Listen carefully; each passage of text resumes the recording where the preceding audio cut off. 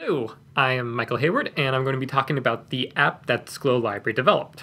The app is called My Library Card, and it was available on Google Play and the Apple iTunes Store. The purpose of the app was to hold multiple library cards for our patrons to make it easier to access. The app grew out of our strategic plan, which idea basically stated we are where you are. Basically, this idea was that the library is more than the physical building. We wanted to be basically everywhere where the patron is. Wanted to be available on their mobile phones or at home on their computers, even when the library is closed.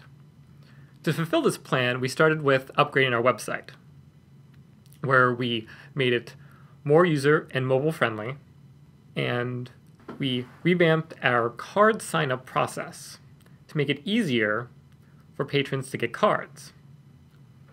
So the idea was that Mary Sue, who woke up at 2 a.m. in the morning, would be able to log onto our website, sign up for a library card, and then immediately get access to items on Overdrive so she could start reading the newest James Patterson book. So, as you can see here on the first slide, a quote from one of our patrons said that they are way more excited about this than they should be. Probably.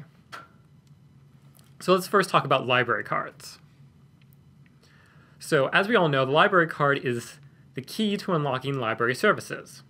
With it, you can access physical books from and take them out from our library. You can access online ebooks and download them to your devices. You also use your library card to log into our website and request or renew your books. And also with your library card, you can access online resources. So the library card's really awesome, but our patrons have a problem. And that problem is they have too many library cards, or they have too many cards. As you can see here, this woman is clearly overwhelmed with the number of cards that she has to carry with her. If you think about it, people have to carry around their credit cards, their insurance cards, library cards, they have to carry around photo IDs, any kind of loyalty cards they have, and these cards all add up after a while. What this ends up being is that patrons they have limited space. So what happens is that some of the less important cards get left at home. No matter how hard we try to tell the patrons that the library card is the most important card in their wallet, they're not going to listen to us, especially when it comes to things like credit cards and insurance cards. So the patrons will leave them at home, or they'll forget about them. And then when the patrons don't have the library cards, what this leads into is that they can't use all those great resources that the library card unlocks. When they come to the library, they're not able to check out books unless they have a photo ID. And then that leads to other issues that involves using extra staff time to look up the patron by their name. And that can lead to errors if John Smith 1 wants to check out books and we accidentally check it out on John Smith 10's account. So we looked at this and we looked at how we had revamped the process of using the library cards to make it easier and revamped the process for signing up for library cards and made it easier. And we wanted a 21st century solution that empowers our patrons to carry the library card with them. So the question becomes what is this solution? What fits in to this space? To augment the library card or complement the library card because we didn't want to remove the library card. It was it's too important, but we wanted to supply an optional way. And the idea we came up with was very simple. We just wanted an app that could hold a library card. And as with most simple ideas, there's an app for that. In fact, there's two. There's Keyring and there's Stocard. And both of these apps are available on both Android and iPhones. And they can both hold all of your loyalty cards. So if you have a Panera card, a Best Buy card, a library card, they can hold all the cards. And we looked at these apps and we thought, these are good, but there's a problem with them. And the problem is that patron privacy matters these apps, even though they may have no intent to maliciously use patron information on their cell phones or devices, they still require information like the device ID, the patron's profile, photo access, camera access. And we weren't comfortable suggesting a third party solution for this because we didn't have any control over these apps. If we were to suggest these apps for our patrons and at some point down the line they did start using this information maliciously, then we would have no control over it, and we would be the ones who suggested it in the first place. That is what led us to create our own app. We wanted to create something lightweight that didn't have all these extra permissions. So we got to work. And just for reference, before we did any work on this, we weren't expert programmers, but we did have some knowledge of programming. But we had never made an app before. Nobody on our team had ever made an app before, so we were basically going in blind. All right, so as you can see here on the slide, this is the first version of our app, and you can see how inexperienced we were based on the design of the app. The app was very simple. It just would hold a library card, and then it had links to our website for other services. Um, this one was built with Swift, a programming language used to make iOS or iPhone apps. Now, we could have used this app and it would have worked mostly fine for our purpose, but the problem with this was that the Android phone users would be unsupported. Basically, anybody who had an iPhone would have an app, but if they had an Android phone, they'd be out of luck. So we looked into this further, and we found that if somebody wanted to create an Android app, they would also have to program it in a programming language called Java. So we would have this app, the iPhone one, and then we would have to create an additional app with Java. And that would involve maintaining two code bases for two different apps. And at this point, we decided to put the app on hold and to look into it further and do some more research. And it wasn't until we had a patron ask a question through Ask Here PA that we delved right back in. Their question was How do I make a multi platform chat app? Multi platform being for both iPhone and Android. And so we looked into the available options. There's things like Xamarin Studio, which allows you to program in C Sharp. And there's a, another option called PhoneGap that allows you to create an app with HTML and JavaScript and CSS. But we went with an open source solution called Cordova. And Cordova, like PhoneGap, allows you to, create apps for both iPhone and Android with HTML and CSS. Basically, you're making a website and then you're using Cordova as the framework. If you want to think about it as an analogy, you can think of it like the website you're making is the picture, and Cordova is the frame with which you put the picture in to display it. So here's the second draft of the app. It's very simple. You would put in your library card number, and at this point, we decided to use a PIN number to authenticate the library cards that was being entered into the app. And when you entered in, when you hit login, it would display the barcode. Now, this is very simple. It holds one card, and you could log in, log out, and change it if you wanted to. And we also had a link to our website on there if they wanted to check their account. Now, this is okay, but we decided that we wanted to look further into options for making our app look better, for a better design. So at this point, we found a platform built on top of Cordova called Ionic. And what Ionic supplies you with is basically they give you the components to make an app. So if you want a button, they give you a button. If you want a menu, they give you a menu. And you get to decide what's in the buttons and what's in the menus and what the buttons and the menus do but they style it for you. So most of the work is taken care of already. So once we found Ionic, we started running with it. And we made a, the third version of our app. And with this version of the app, it would also display the, the card on the screen just like the last one would. But with this version, you, there was a slide out menu on the left hand side that would also allow you to look at the items you had checked out or the items you had on request. And then we did some research into library apps themselves and we found that people didn't review them favorably. There was a lot of people who got on and said, oh, why can't the app do this? Why can't the app show me the items that are available for me on hold? Or why can't the app tell me when my items are due? And it's not my fault the items are late, it's the app's fault because it didn't tell me the items are due. So we took a step back and looked at what we wanted the functionality of the app to be. And we decided that we didn't want all those extra bells and whistles of the other apps. We just wanted an app that did one thing and did one thing really well. So this was kind of like when the light bulb went on for us. because we wanted a simple app. And we decided we wanted it to be simple but powerful.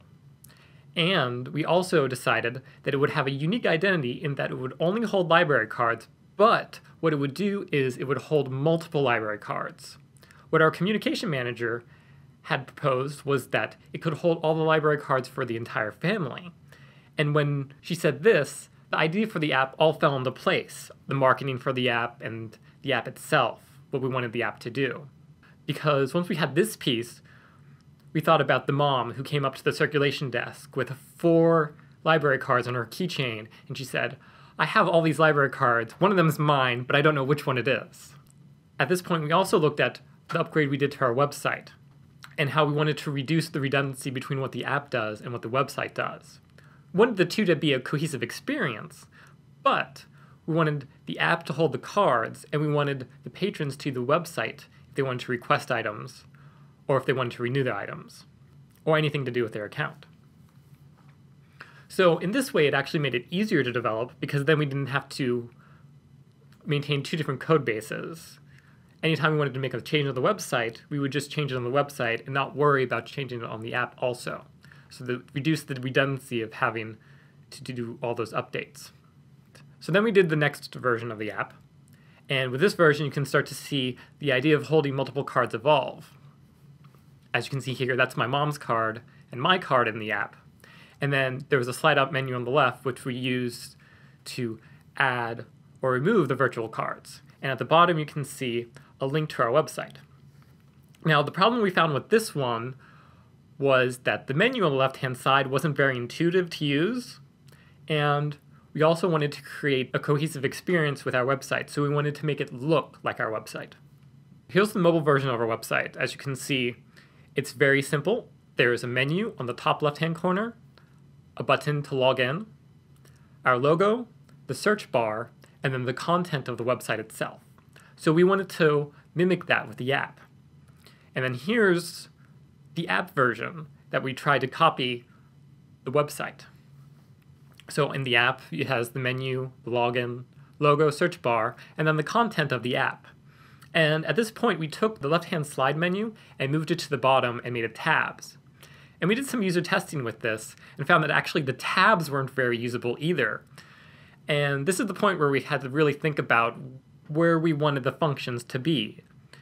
And what it turns out is, if you just put the functions right where they're needed most, it makes the most sense. So for example, the add cards button, we moved up to where the cards were, and we embedded the remove card into the card itself.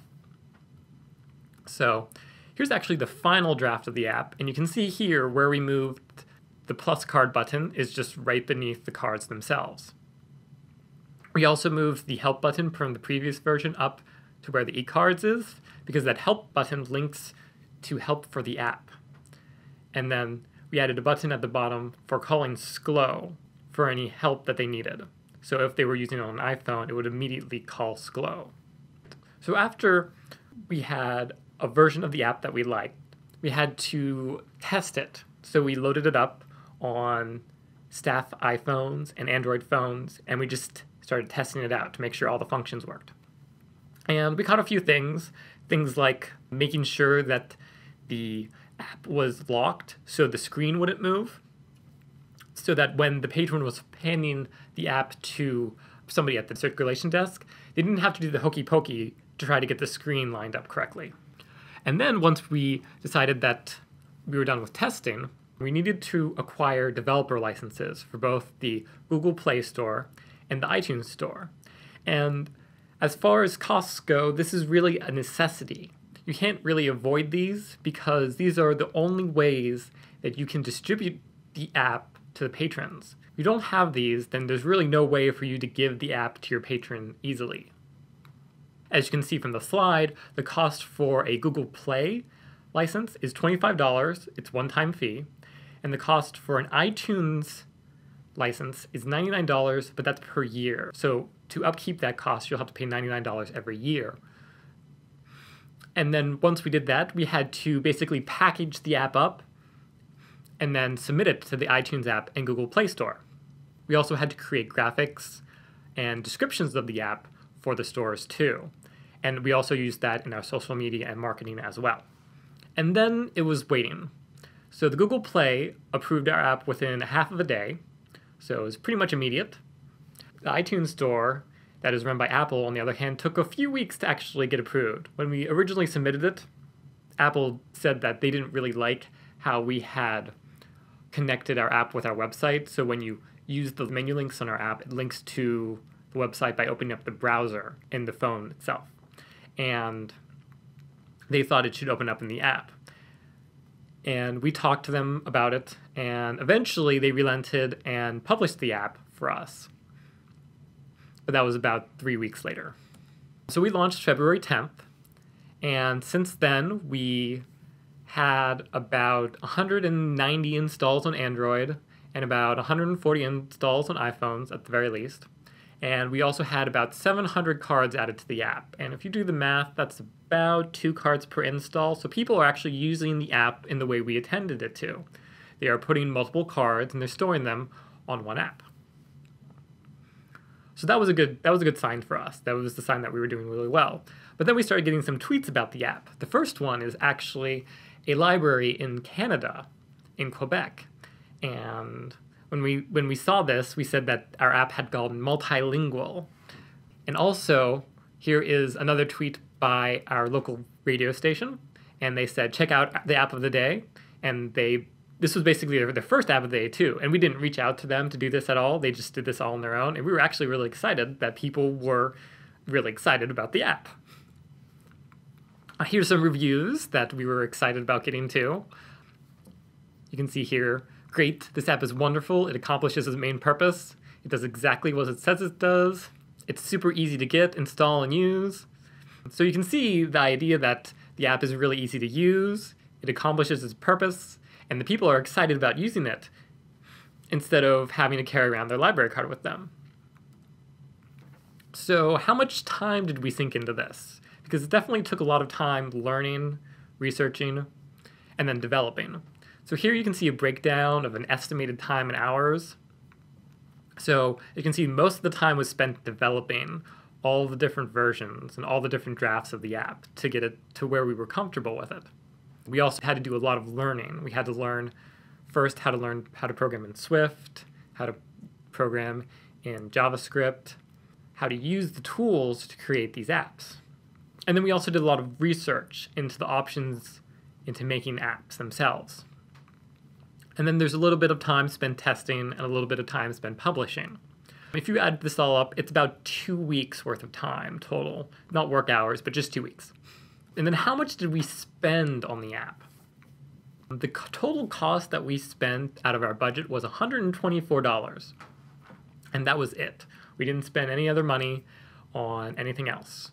And that's actually the cost of the two licenses themselves. So the $25 for the Google Play and the $99 for the iTunes App Store. And then the upkeep cost that we'll be paying every year for the app is $99. So we're not paying any extra licensing or anything like that. It's just $99 every year. Other things that you might have to buy if you were to develop an app yourself is you might have to buy some kind of Mac computer and then some kind of iPhone or iOS device, like an iPad or something.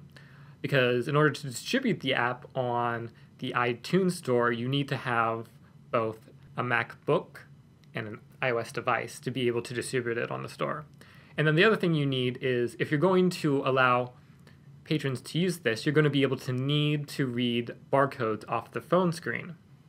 And most laser scanners can't read the screen of a phone. So you're going to have to invest in optical scanners instead. And those can run between about 175 and $200.